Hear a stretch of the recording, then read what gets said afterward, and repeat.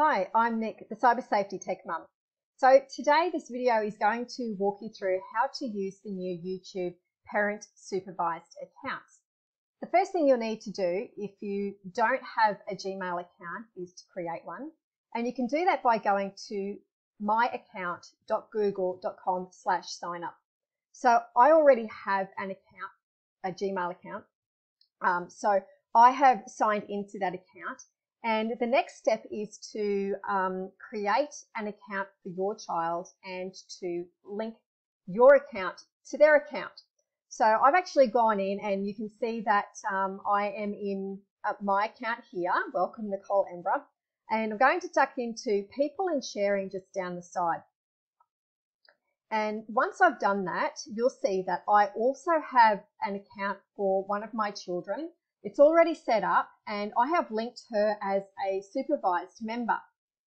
If you have created uh, Gmail accounts for your other children or they already have one, then you can simply click on send invitations and it will allow you to invite those uh, Gmail addresses uh, to be linked to your Gmail address as the family manager. So once you've done all of that, you pop into YouTube and I've already signed in. You should be able to see it here. Um, you can see that I've signed in because my little picture is up in the corner there. And what I'm going to do now is click on my little picture and I'm going to go down to settings.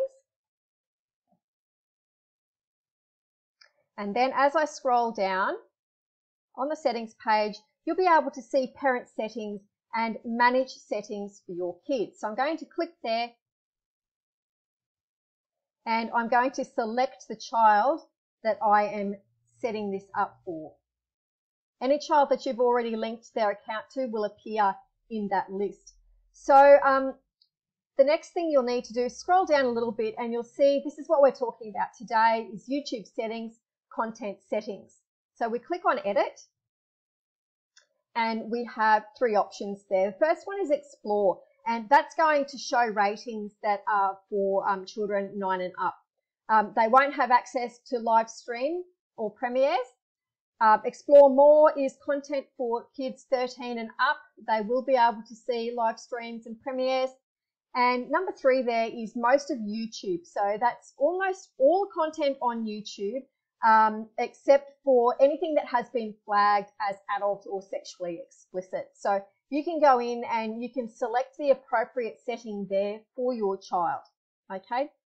And when you click back, you'll notice that you can scroll down a little bit and you can see that you can uh, pause the watch history um, and you can pause the search history as well as clear history. So there are a couple of little extra things that you can do um, within these parent supervised accounts.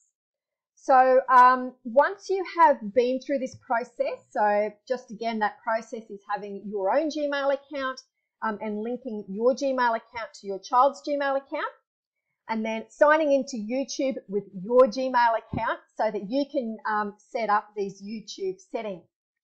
What you need to do next is to go to your child's device and sign into YouTube using your child's Gmail account. Okay, and that means they're going to pick up the settings that you have just set for them.